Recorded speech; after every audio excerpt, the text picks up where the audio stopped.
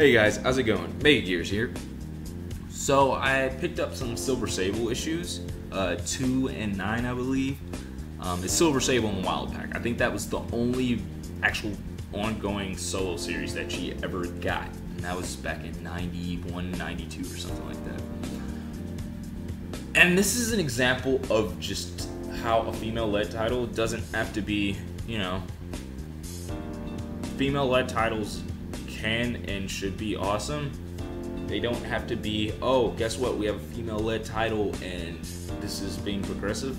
No, just just make a cool superhero, cool character. Uh, Silver Sable really isn't a superhero. She's more of like a, she's an anti-hero, I guess. She, she's a mercenary. So take that how you will. Um, but yeah, it was. It's it, it kind of feels like Red Hood and the Outlaws. If you ever check that out, it's just a really fun B movie action film. It's not really deep, but it's it's fun, fun nonetheless. And it's one of those type of situations where Silver Sable is she's she's ruthless, man. She's really cutthroat. She's really to the point. She's she's cold as ice. She's almost just to the point of just being a little rude, but it's it's not like it's personal she's just like, hey, I'm a businesswoman. I'm CEO of a you know a company of mercenaries. I don't really have time to uh, fool around and beat around the bush.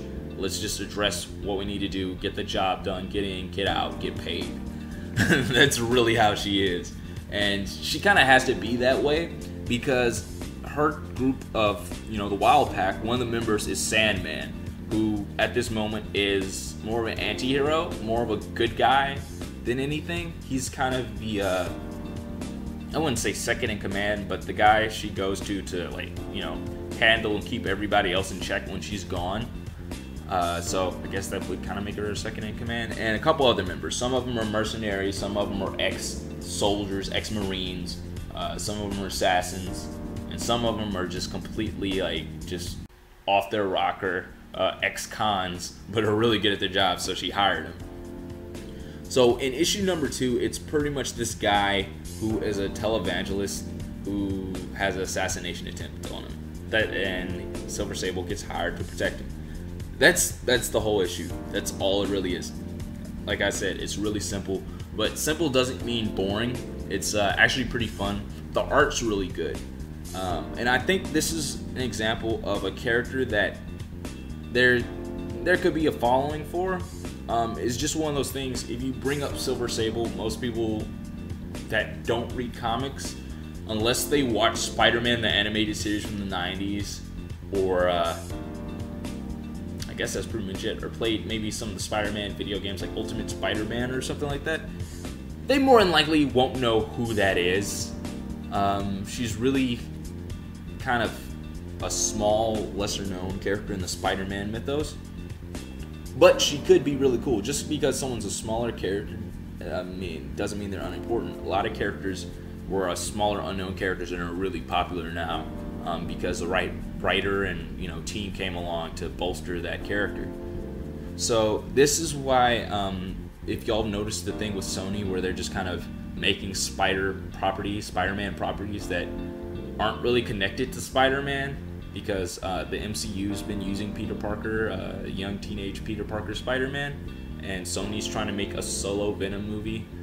Uh, this and they, this was also supposed to be something they're working on. It was Silver Sable and Black Cat. Don't think that's really gonna work because most people, if you say Black Cat, the first thing they think is like, oh yeah, Catwoman. That's what you mean, right? Not not Black Cat. You mean Catwoman, right? Uh, so I don't really see what was the good idea of doing that, but that could be a really cool, you know, mini series. Imagine having a Silver Sable and Black Cat book, right?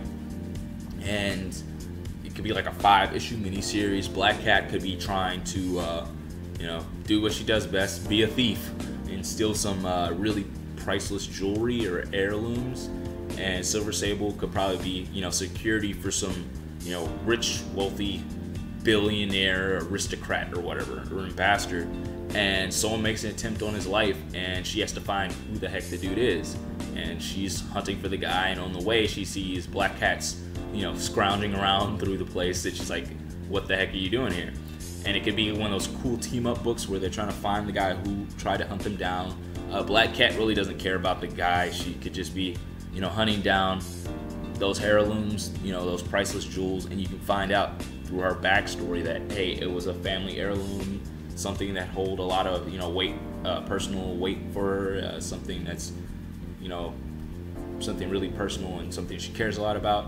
Silver Sable, she's just in it for the money, and it could be like this cool buddy cop thing going on, um, and just a cool B movie action flick type coming. Because uh, Silver Sable is one of those characters, she plays better off of others. If it's in her own book, it might be a little boring because she's just so not a stick in the mud, but so straight laced and serious all the time. It could seem like she doesn't have a personality. But if she's written well, she could be the, you know, rough around the edges, um, cold as ice, but inside has, you know, a heart of gold. You know, those type of characters that you just kind of got to get close enough to know them. You start to find that, you know, they do care and they do have feelings and, you know, that type of stuff. But um, if you cross them, you know, you you better you better go into hiding or something because they're coming after you. But yeah, if you have not um, read a Silver Sable book and you're interested in it, I would definitely say skip the Marvel Legacy title. I mean, if you want to read it, it really wasn't that great. Um, it was pretty mediocre at best. But uh, if you're interested into that 90s nostalgia, go ahead and uh, check out issue number one. I don't know why they don't have more than one issue of Silver Sable on Comixology. Um, but they only have the first issue, Silver Sable and the Wild Pack, on Comixology. I don't understand it. I think there was like 35 issues, but they only put issue one, and they haven't updated it since. But if you go to your comic book shop, I think it should be pretty easy to find them. They're not um, a really hard to find book compared to certain other titles. Um, like if you're looking for like John Byrne's Fantastic Four, I think you might have a harder time finding that.